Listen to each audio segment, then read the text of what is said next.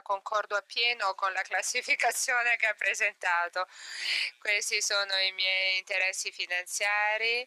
Penso di poter parlare degli errori perché li ho commessi tutti molte volte. La cheratite erpetica è un problema notevole e dobbiamo affrontarlo. Il primo errore di cui voglio parlarvi ha a che vedere con quanto ha detto il dottor Sarnicola, cioè non comprendere la diagnosi clinica classifica corretta. Questa è la classificazione che eh, risale al 1999, poi è stata aggiornata nel 2017.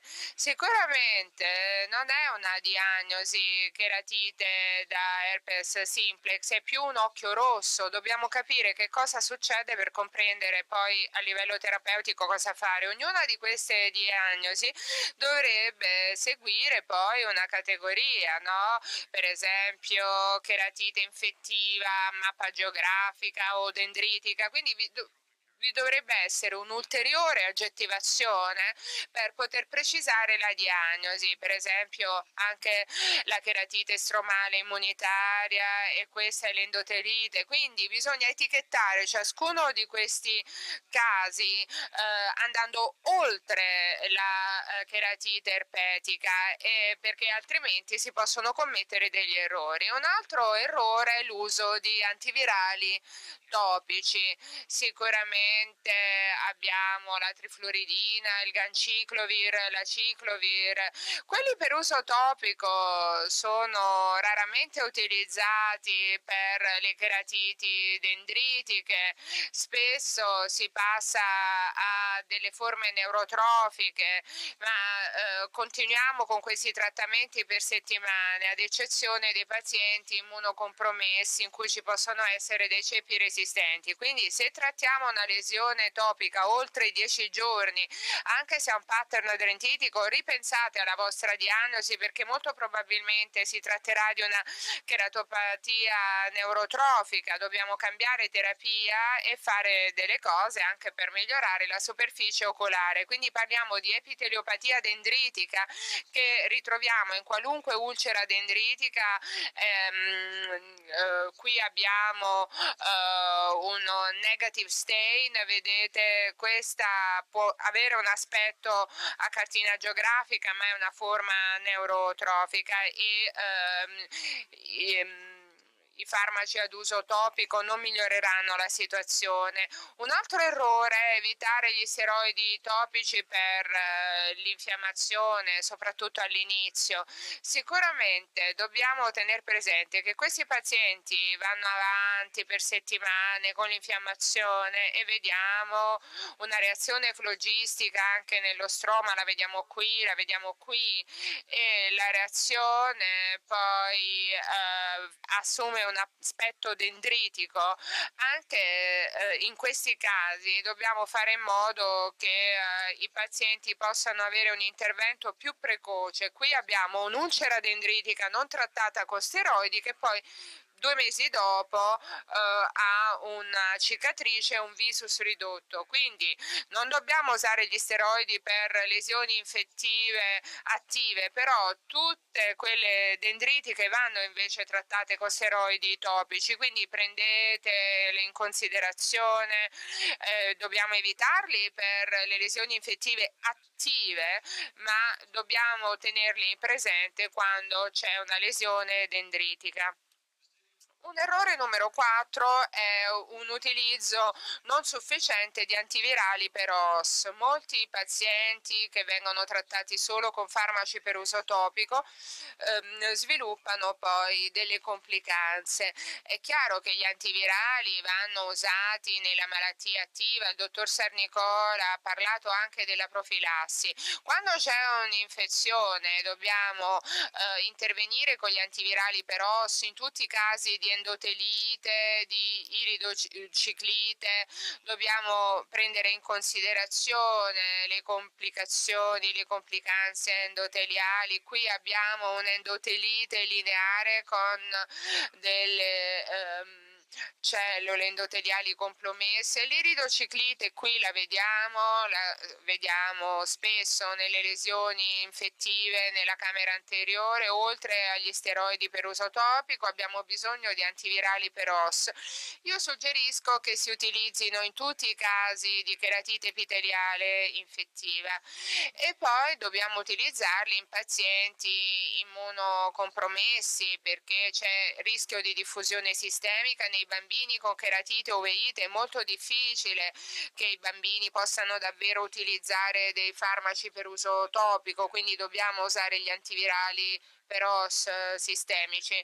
Sicuramente poi per eh, la profilassi, qualunque paziente faccia una cheratoplastica deve essere poi sotto copertura antivirale, i pazienti monocolari con eh, herpes simplex eh, frequente o ricorrente eh, e dove poi vi sono recidive ehm, nei bambini in particolare, eh, spesso i bambini poi a scuola sono difficili da gestire, dobbiamo evitare le recidive. Se non li si usa per tutte le lesioni infettive, però prendiamole in considerazione quando eh, vi sono delle recidive frequenti. Un altro errore è eh, l'interruzione della terapia a base di steroidi topici tossici.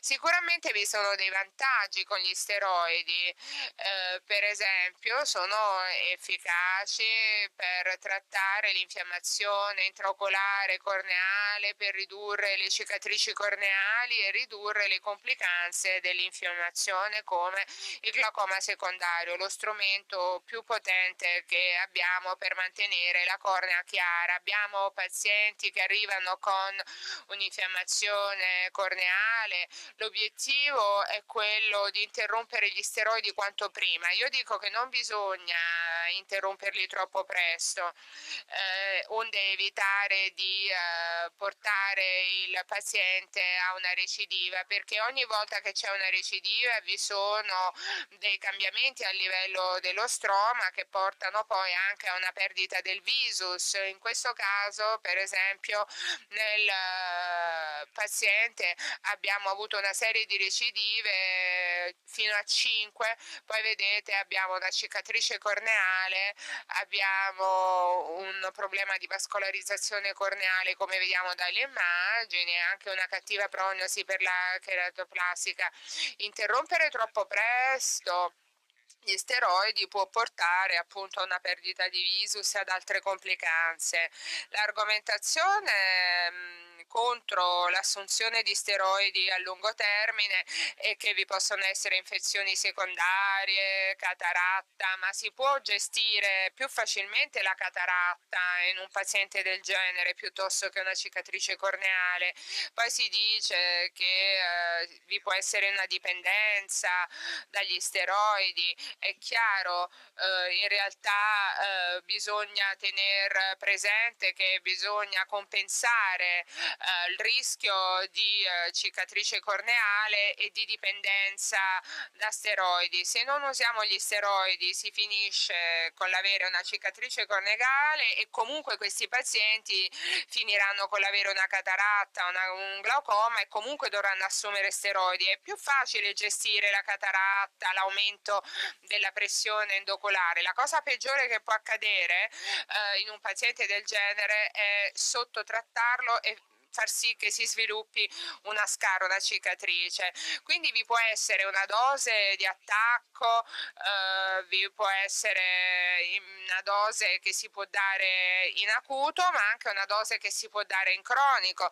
Non c'è bisogno di continuare con una dose di attacco per tanti mesi, si può ridurre poi la dose di steroidi eh, se si decide di eh, portare avanti il trattamento per molto tempo e poi poi l'errore numero 6, sottotrattare la keratopatia neurotrofica. Che cosa succede? Non c'è bisogno di un'ulcera piena, pieno titolo per avere una perdita di virus.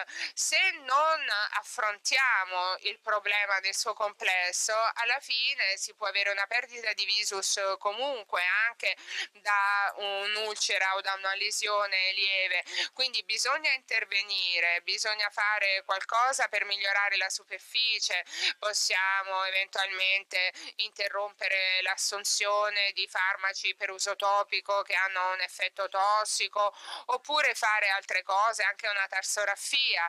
Se è persistente dobbiamo eh, affrontare il problema. Riassumendo, eh, vi sono delle perle che posso elargirvi in merito alla gestione della cheratite erpetica. Innanzitutto bisogna capire esattamente veramente come poi etichettare una diagnosi molto generica che è quella di cheratite erpetica e poi bisogna in qualche modo intervenire a livello di uh, uh, uso di antivirali per OS, uh, avere fiducia nell'utilizzo degli steroidi per lungo termine, è meglio usarne di più che di meno e bisogna affrontare la keratopatia neurotrofica oltre oltre che limitare eventualmente l'uso di antivirali per uso topico. Grazie, grazie.